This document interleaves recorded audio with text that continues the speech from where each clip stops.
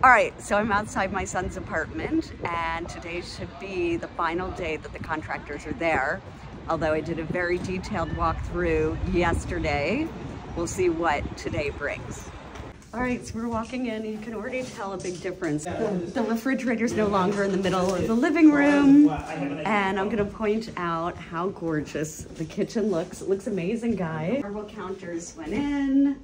Um, we now have our oven in, our refrigerator. So this we realized is um, a bit low. It's fine for someone like me who's so petite to cook, right? But someone who's taller, they're gonna be, as they're cooking, they're gonna be banging their head. So we're gonna raise it. Again, we approved the drawings, but in reality, it should be higher. That's super simple to fix.